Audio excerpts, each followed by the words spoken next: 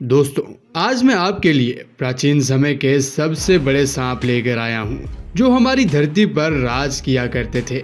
आज भी जब उनका कोई ज़िक्र करता है तो लोग डर जाते हैं। आप भी इनके बारे में जानकर चौंक जाएँगे। लेकिन उससे पहले, आपसे दरख्वास्त है कि एनिमल्स वैली को सब्सक्राइब करते हुए साथ मौजूद बेल के आइकन को लाजमी दबा दें। एपोपिस अगर आप इजिप्ट मैथोलॉजी को ध्यान से जानने की कोशिश करोगे तो आपको एपोफिस का ज़िक्र काफ़ी बार सुनने को मिलेगा, जो एक विशाल सांप हुआ करता था, जिसे इवल लिजार्ड के नाम से भी जाना जाता था।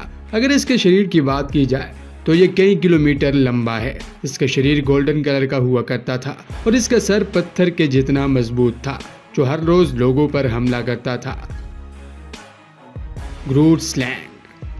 ये अफ्रीकन मैथोलॉजी का सबसे मिस्टीरियस क्रिएचर है, जो अंधेरी जगहों पर नदियों और दलदली इलाकों में रहा करता था, जो एक विशाल सांप था, जिसका सर हाथी के जैसा कहा जाता है। जिसका सर हाथी के जैसा था, कहा जाता है कि ये ज़मीन के नीचे मौजूद खजानों की रक्षा करता है, वैसे जैसे ड्रैगन किया करते थे।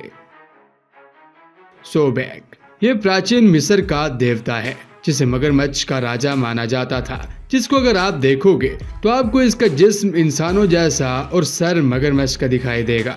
कहा जाता है कि सोबेक मिस्र के प्राचीन लोगों और उनकी सेना की रक्षा किया करता था, जो अपनी ताकत के बलबूते पर किसी को भी हरा सकता था। गार्गोयल, ये एक ऐसा ड्रावना राक्षस था। जिसके पंख लगे होते थे। कई जगह इसके बारे में ये बताया गया है कि ये गर्जा घर, ये फिर महल की रक्षा करते थे। शायद यही वजह थी कि इनकी मूर्तियाँ आज भी आपको प्राचीन इमारतों पर बनी हुई दिख जाएँगी, जो इस तरीके से बनाई गई हैं, जैसे वो इस जगह से आसपास की जगह पर नज़र रख रही हो, जो कि कभी बीमार नहीं होते थे और अपने आप को इंसानों में बदल सकते थे।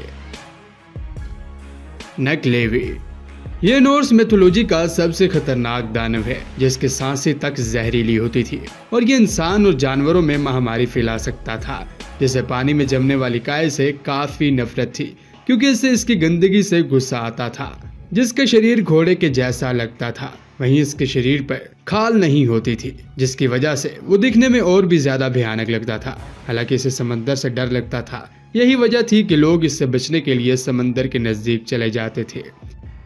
तो दोस्तों, ये थी आज की हमारी ये वीडियो। उम्मीद है कि आपको वीडियो पसंद आई होगी। अगर आपको वीडियो अच्छी लगी है तो वीडियो को लाइक करते हुए अपने दोस्तों के साथ ज़रूर शेयर कीजिएगा।